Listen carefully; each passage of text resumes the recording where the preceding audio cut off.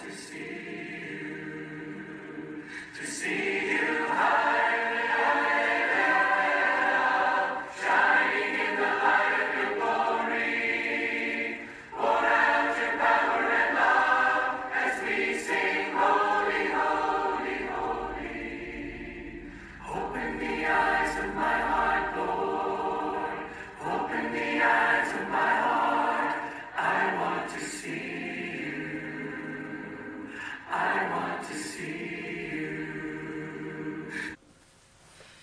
Hello and welcome to Finding God's Way.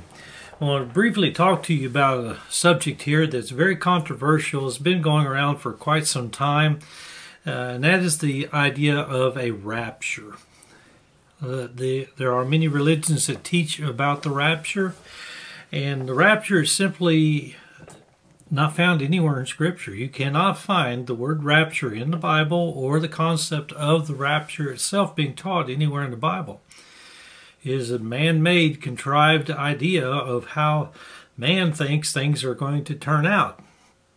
The belief that the Lord will return and set up an earthly kingdom uh, is what what the premise of the uh, rapture concept is all about.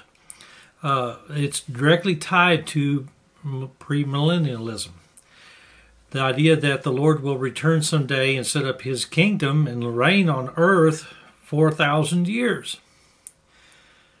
That too is not taught anywhere in Scripture. That's something that some man somewhere has come up with. Uh, John, for instance, uh, the one who authored the book of Revelation, clearly tells us something very important if we pay attention.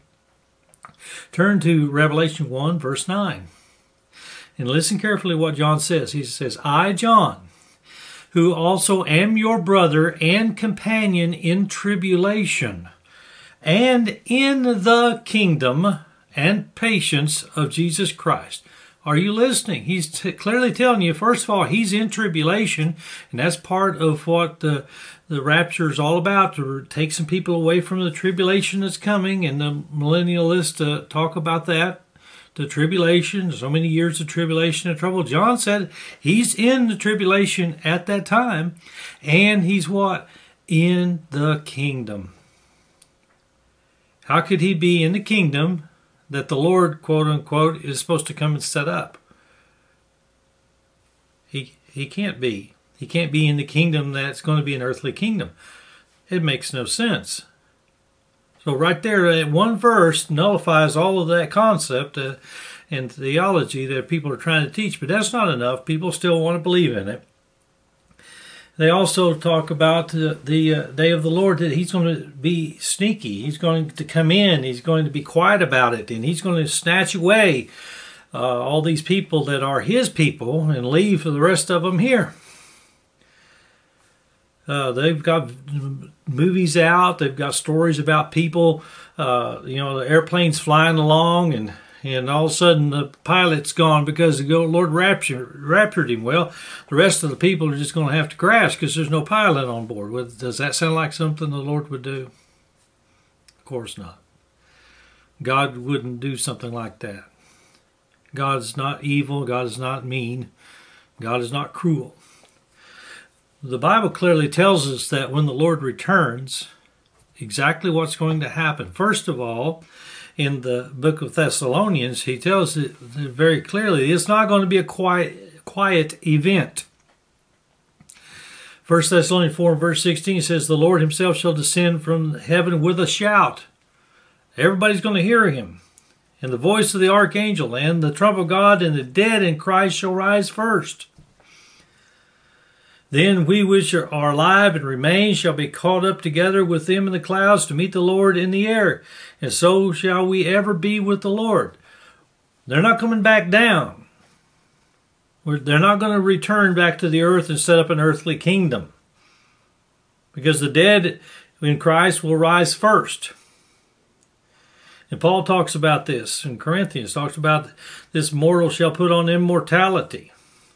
He talks about that in 1 Corinthians chapter 15 and verse 50. He says, Now this I say, brethren, that flesh and blood cannot inherit the kingdom of God. Are you listening to Paul? This is the whole premise of the millennialists. This is a, a, all the, what they're talking about for the rapture and everything. They're, they're saying the Lord's going to set up an earthly kingdom. What did Paul just say? Flesh and blood cannot inherit the kingdom of God. It's not going to be a fleshly kingdom. It's not going to be one here on earth. Flesh and blood cannot inherit the kingdom of God, neither doth corruption inherit corruption. Behold, I show you a mystery. We shall not all sleep, but we shall be changed. In the moment, in the twinkling of an eye, at the last trump, the last time the Lord calls. For the trump shall sound, and the dead shall rise, incorruptible, and we shall be changed. We just read in Thessalonians when that happens, it's when the Lord returns. One call, and we'll be changed we will put on immortal bodies. In verse 53 of 1 Corinthians 15 says, For this corruptible, this, this flesh, must put on incorruption, and this mortal must put on immortality. How hard is that to understand? It isn't. It isn't hard, is it? At all. Well, also, Peter talks about the day of the Lord in 2 Peter chapter 3, starting with verse 11. says, Seeing then that all these things shall be dissolved, that's things in the earth and the, and the, the uh, space, the heavens, all those things that we see. Seeing these things shall be dissolved, what manner of persons ought you to be in all holy conversation and godliness? Looking for and hasting unto the coming of the day of God. The day of the God is when he returns wherein the heavens shall be on fire with and dissolved with the elements shall meet with a fervent heat. Nevertheless, we look for look for the forward and hastening unto the coming of the day of the Lord, wherein the heavens shall be on fire with and dissolved, and the elements shall be out with fervent heat. Look for new heavens and a new earth, wherein dwelleth righteousness. Not hard to understand that. New heavens and a new earth a place where God has already told us. The Lord Himself said, I go to prepare a place for you, that where I am, there you may be also. Why? Because it's a spiritual place, not a physical place. Paul has told you, flesh and blood, you and I, we cannot inherit the kingdom of God.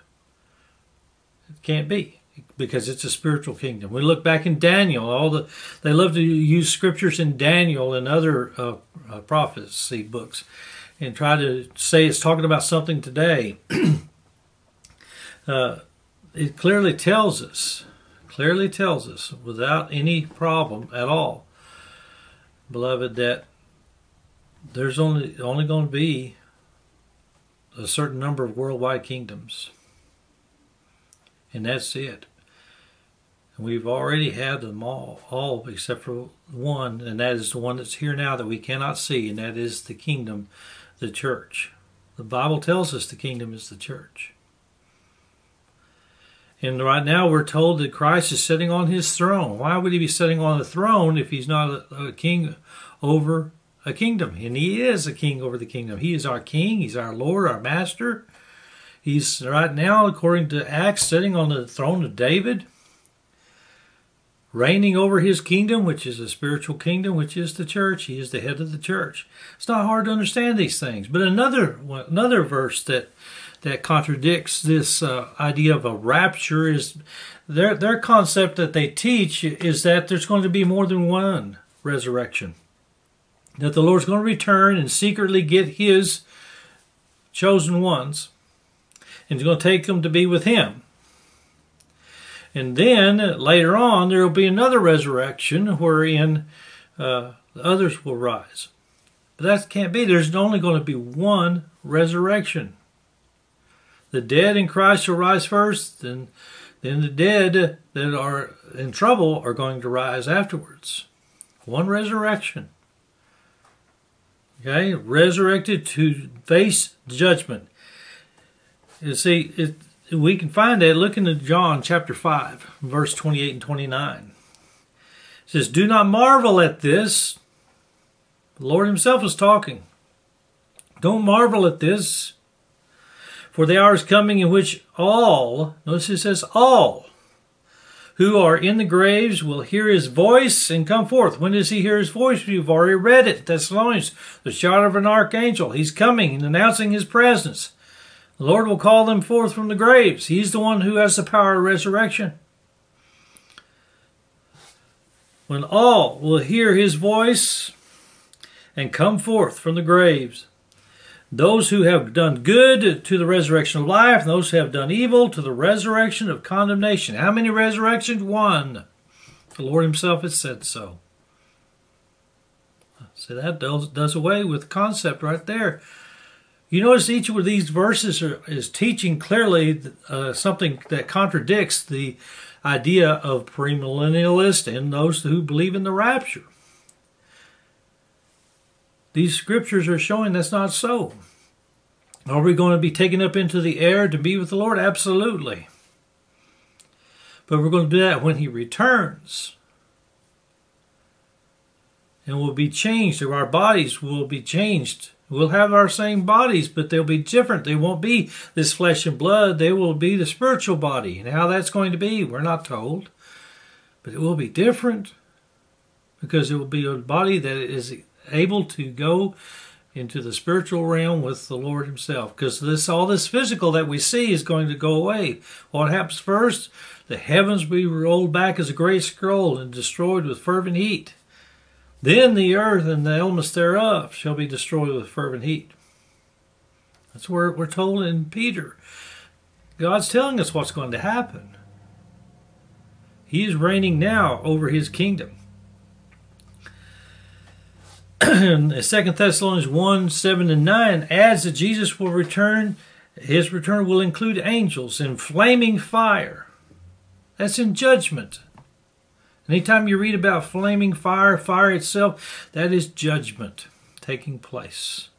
What happened to Nadab and Abihu? They were judged as in error for worshiping God incorrectly, and they were destroyed with flaming fire from God Himself.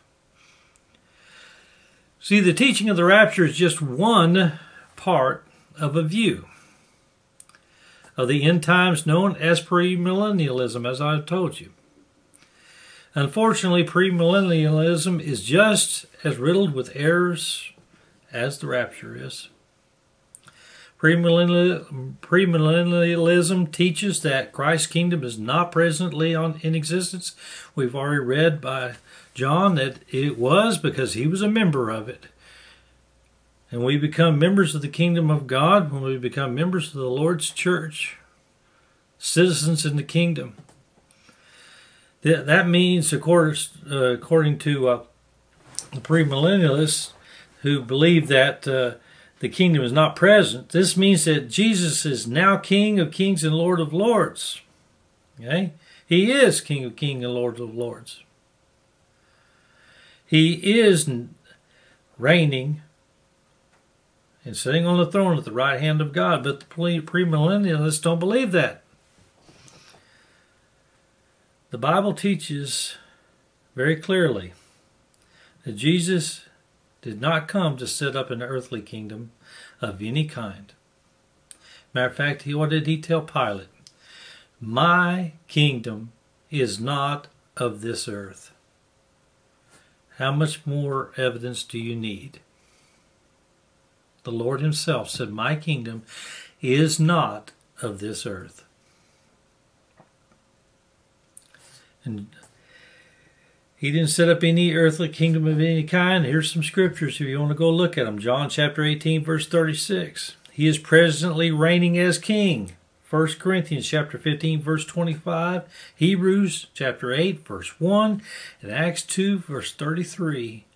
And his kingdom is firmly established. It will never be destroyed. Matter of fact, what did he say about his church, which is the kingdom? The gates of hell shall not prevail against it. It will never go away.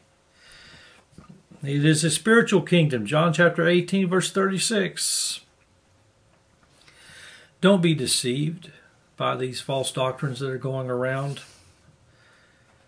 talking about the rapture. Jesus is not going to snatch up Christians suddenly and mysteriously. Instead, at a time when no one knows, the world will suddenly end and all will be ushered into judgment. 2 Peter 3 and verse 10.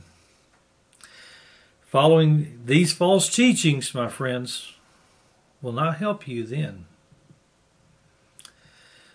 I urge you, I ask you for your own good. Search the scriptures.